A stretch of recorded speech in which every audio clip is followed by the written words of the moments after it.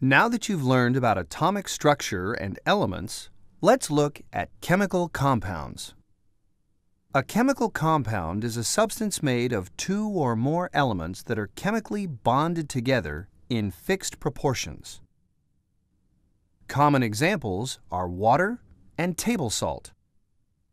You've probably heard of H2O. That's a chemical formula for water. In the chemical formula for water, the little number slightly below the letter H for hydrogen is called a subscript. A subscript in the chemical formula tells you how many atoms of that element are in one unit of the compound. There's no subscript next to the O for oxygen. That means there's only one oxygen atom. We don't write the 1. When there's no subscript, it's understood that we mean one atom. So H2O is the formula for one unit of water. The formula shows that a unit of water contains a fixed proportion of two atoms of hydrogen to one atom of oxygen. It's important to know that compounds usually have very different physical and chemical properties than the individual elements they contain. For example, Although water is liquid at room temperature, the elements hydrogen and oxygen are gases.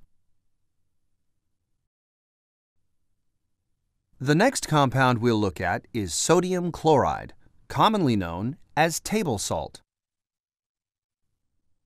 Sodium chloride consists of sodium and chloride ions. Ions are charged particles because they have gained or lost electrons. How many ions of sodium are there in one unit of the chemical formula for sodium chloride? No subscript means there's only one sodium ion. And how many chloride ions?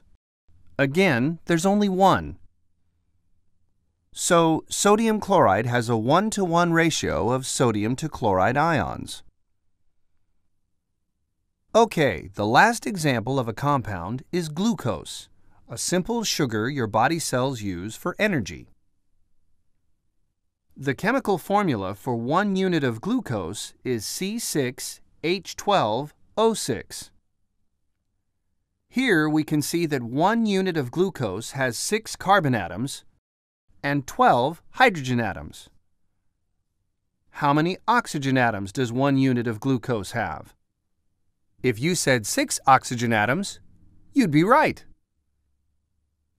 In review, a compound is a substance containing the chemically bonded atoms of two or more elements. A chemical formula gives the proportional number of atoms or ions of each element in a compound. And a compound usually has different physical and chemical properties than the elements it contains. We'll explore how elements chemically bond together in the next video.